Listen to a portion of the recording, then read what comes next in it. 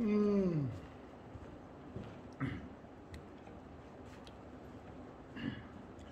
Good morning to you all, brothers and sisters.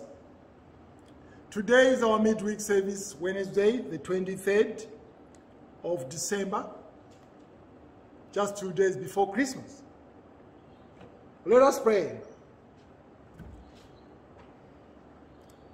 Dear Heavenly Father, thank you that you are our God and Shepherd, our provider and our sanctifier. Thank you that you are the Lord of hosts, who made heaven and earth by the power of your mighty hand, that you choose us to be your children and members of Christ's mystic body. Thank you for the lesson we have learned through the life and times of David, whom you chose to be Israel's greatest king and the under shepherd of your people. Thank you that you can use anyone whose heart is right before you. You have used Mary to be the mother of Jesus. If you have used Joseph, you have used King David. Cleanse our hearts and use us, we pray, in the furtherance of your kingdom. Help us to listen to your voice and obey your word. This we ask in Jesus' name. Amen. I would ask Brother Ben to come and read the word of God from 2 Samuel chapter 7 verses 1 to 18. 2 Samuel chapter 7 verses 1 to 18. Morning everyone, it's uh, another lovely day. I um, hope this message reaches you safe on Wednesday and that you you really love it. Um, as Johnson mentioned, it's uh, from 2 Samuel 7, 1 to 18. After the king was settled in his palace and the Lord had given him rest from all his enemies around him, he said to Nathan the prophet, Here I am, living in a palace of cedar, while the ark of God remains in a tent. Nathan replied to the king, Whatever you have in mind, go and do it, for the Lord is with you. That night the word of the Lord came to Nathan, saying, Go and tell my servant David, This is what the Lord says. Are you the one to build me a house to dwell in? I have not dwelt in a house from the day I brought the Israelites up out of Egypt to this day. I have been moving from place to place with a tent as my dwelling. When I have moved with all the Israelites, did I ever say to any of their rulers whom I commanded to shepherd my people Israel, Why have you not built me a house of cedar? Now then, tell my servant David, this is what the Lord Almighty says. I took you from the pastures and from following the flock to be ruler over my people Israel.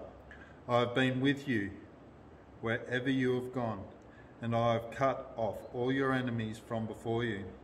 Now I'll make your name great, like the name of the greatest man of the earth, and I will provide a place for my people Israel and will plant them so that they can have a home of their own and no longer be disturbed. Wicked people shall not oppress them any more, as they did at the beginning and have done ever since the time I appointed leaders over my people Israel. I will also give you rest from all your enemies. The Lord declares to you that the Lord himself will establish a house for you.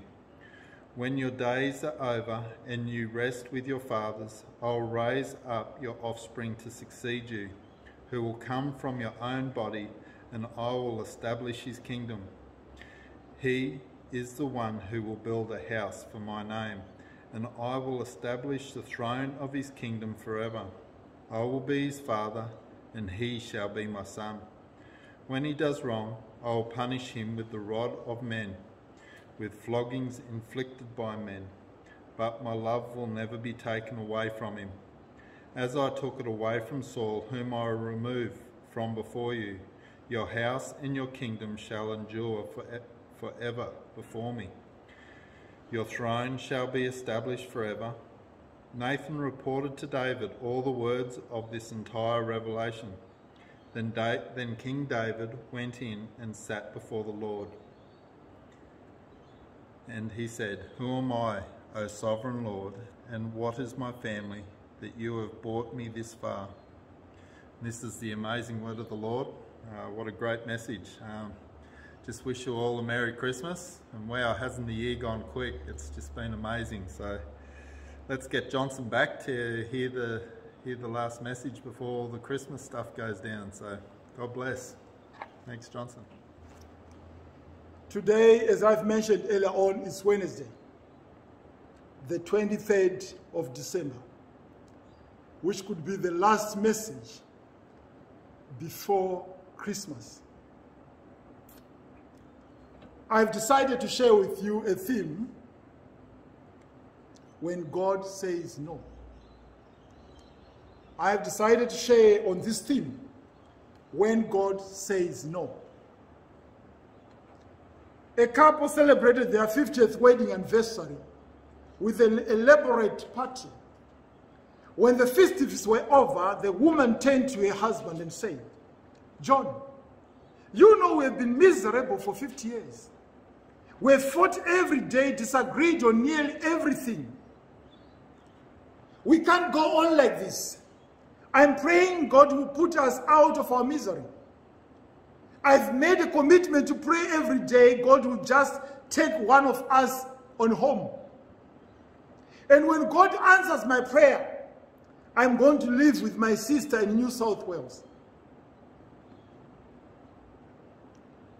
Often we think we know exactly what God ought to say to us. But sometimes the answer is no. In today's scripture, David had three big no's from God. He got a know about his plans, and know about his purpose in life, and even know about the practice of his faith. David got a know about his plans. After the ark was restored to Jerusalem and peace abounded, King David wanted to build God a house, a temple. The king lived in a fine house of cedar, but the ark, symbolizing God's presence, was still housed in a tent. David felt surely God would want him to rectify that. For David was the most powerful ruler in the world of his day. He was this undisputed master from the Egypt to the Euphrates. He was king of Judah, Israel, Jerusalem, Ammon, and the Canaanite states. He was ruler by governors of over Edom and the Aramean states, and he was chief of Moab. Certainly, now that David was such a powerful monarch, God would ratify his plan. At first, Nathan the prophet agreed, but later told David, God has said no. David can't build me a house, said God. I never asked for a house in the past. I don't want one new. The answer was no to David. No is not always the last word. Not every no is from God. Life ends us blows simply because we are human beings and live in a fallen world. God has chosen to allow other forces to work at us for a time. If we at work, free choice is operative. An orderly universe means the same water that quenches thirst down, that quenches thirst, that same water can drown us. Not everything that happens in this life in God's will. Not every Christ dream is willful cried by God. And if we trust the Lord God will bring some good for some of our every calamity. But there are times when God says no. For reasons we cannot see. God doesn't ratify the plans. And when this happens, God says to us, as to David, no, I can't approve your plans, for I have a better plan. Sometimes we want God to fit in our plans. Instead of allowing God to help us take our plans. God said no to David's plans and God said no to David's purpose in life. David expected to be a shepherd, but God said, no, I need you to be a prince. he was just a shepherd. And that David didn't understand at that time. Think about it. He was the one who was just a shepherd out there. Out of all his brothers, he was the one chosen to become the king. Because that is God's plan. He was secure in his father Jesse's house in Bethlehem. His mother, six brothers, and two sisters were there. His life team said he was a shepherd, and a shepherd he had remained. That was his purpose in life, but everything changed. From being a shepherd to a king. You can't know, you can't believe that. Because that is God's way. Sometimes things change, of course, because times change. A cartoon showed a woman opening a gift from her boyfriend. Oh, Gary, she exclaims, an apron? How nostalgic. Aprons are out. Physical fitness is in. A comedian commented, my doctor said jogging could add years to my life. He was right. I feel 10 years old already. Not all changes are good. A man can complain to a friend. They say your memory is the first thing to go. Who said that? Asked the friend. The man responded, who said what? you can see the memory is gone already. So things change just because they do. But sometimes things change because God says no. Some of us would like to remain children, but God says no. You must grow and live behind your own stage of life after another. Some would like to stay adolescents, but God says no. You must be adults and accept responsibilities. Would like life to be comfortable and secure, but God says no. Life is made real only by challenge and conflict and change. God said, no, David, you can't be a shepherd, for I have a better purpose for your life. I want you to be a king. You can't be satisfied by being just a shepherd. David got a know about his plans, a know about his purpose, and a know about the practice of faith. David expected to practice his faith in God by building a magnificent temple. He was prepared to spare no effort nor expense, expense to create a structure looming to the skies for God's glory. He wanted to build God a house, but God said, no, I build you a house, a dynasty, an everlasting throne. That is what I'm going to build. In our religious life, we want to practice worship our way sometimes We would like to enjoy our Sunday service, our Sunday school classes and circles, a few close church friends and stop there. But God says, no, you can't stop there. Reach out. And you find that there are new people who are coming who have never been part of our group, our fellowship. That is God's plan. And these new people bring new wisdom and understanding to the fellowship which have never used to, bring others into the church and to our faith.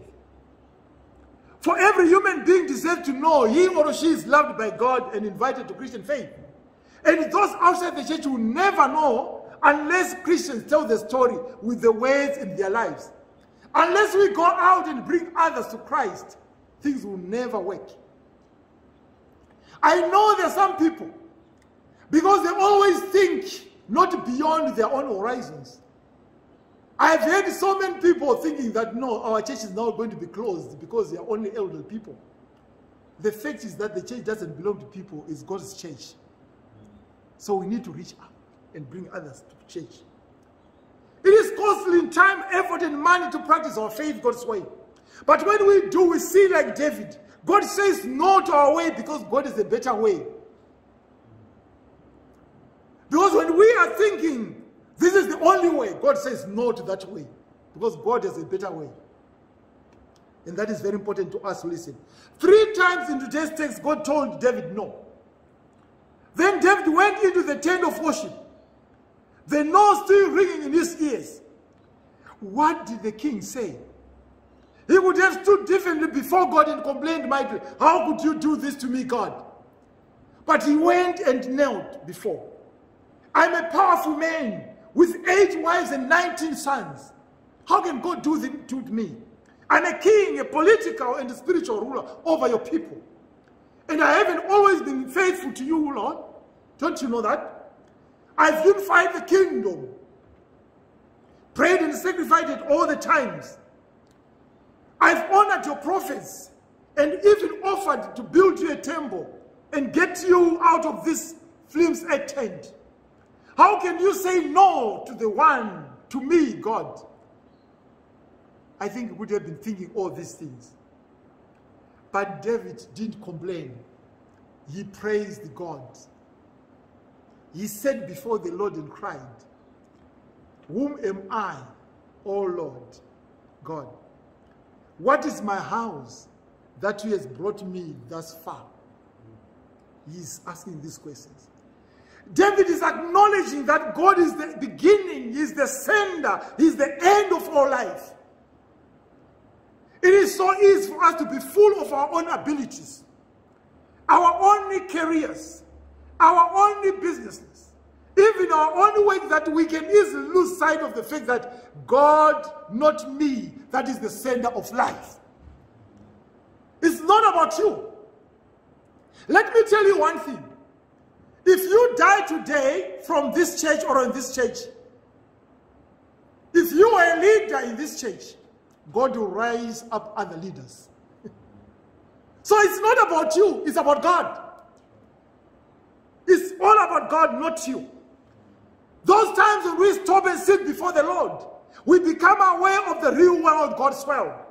We then realize how much greater it is. God commands and we obey. God sends and we go. So the Christian life is glorious, active life as the Holy Spirit does the work of Christ in, in and through us. The danger is not that we do nothing when we sit before the Lord. Rather than the danger is that we get so caught up in our God's plan that we forget about God. We forget who God is. When God says no, it means he has a better way and expects me to support it. When God says no, my very best reaction is cooperation and humility. When your marriage is not functioning, when God says no to it, don't mourn over it. Move over. because God has got a better plan for you. How can David still believe and praise in the face of God's no? He had learned there is hidden in every no God's gracefulness. Yes, David, said God. Though I won't approve your plans, I will give you power to accept my own plans. Yes, David, though you cannot be a shepherd, I will make you a king. I'll raise you from being from the bush to the palace. because that is God's plan. Yes, David, though you cannot build me a house, I'll build you a house, a monarch, spiritual and eternal. And one day, God's own son would rule on that spiritual everlasting throne. That son is God's great yes to all humanity. That's what we are waiting for this Christmas. Jesus Christ, out of the lineage of David. He is. It is the work of Jesus to build a house. A spiritual temple. Jesus' temple is the church. He builds it, not this building. The church are people. The church is God's dwelling place in the spirit. Jesus is David's seed, raised up and raised up to establish God's kingdom. God's house, his throne will last forever and ever. That is who Jesus is. As God did to David, God may say no to our plans and our purpose the practice of our faith. But when we ask for Jesus Christ in our lives, we are asking God to give us our single ultimate need. God is serving present with us now and furthermore. What are we saying, brothers and sisters? And when this cry of faith is our prayer, God's answer is never no, but yes, yes, and yes because that is what God does. So, my brothers and sisters, let us listen to what the Holy Spirit is saying to us. This Christmas, there are certain things God is saying no to us. And we should abide by his no. We should not continuously crying to say, why me, God? Why this Christmas? When God says no, accept a no as an answer from God. And then you move on. You follow God's plan. For I have got plans for you. Plans not to harm you, but to prosper you. Which means God has got a plan. When He says no to one thing, He has got a plan for your life. And that's what we need to do. He is the same God who can build your life from nothingness to become a somebody if you only listen to what he says. If you only obey to his commands. When he says no, accept no as a no. And then you follow his plan. Because he said, For I know the plans I have for you. Plans not to harm you, but to prosper you. And we need to thank God for that. Let us pray. Lord God, thank you for saying yes to the only question which is of eternal consequences to us. Can I be forgiven, reconciled to God, saved from sin and myself? Thank you for saying yes in the person of Jesus Christ. Now, would you open our hearts to say yes to you this very day, the 23rd of December, 2020? Amen to that, Lord. Amen to that church. Amen. Amen. Amen.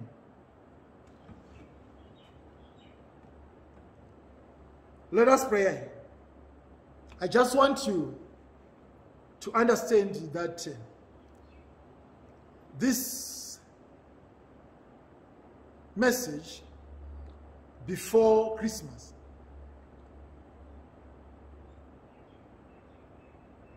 is there to help you so that you understand who God is. As you are now coming to the end of the year, let us give our lives to God as we pray. Heavenly Father, thank you that your promises are true and never fail. Thank you that Jesus is coming back after the time of Jacob's trouble to claim his rightful position as King of Israel, Prince of Peace and Lord of heaven and earth.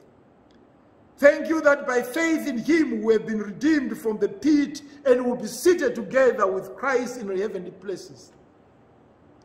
We pray for your people, Israel, that men would come to faith in Christ as Messiah and call on the name of the Lord Jesus for their salvation.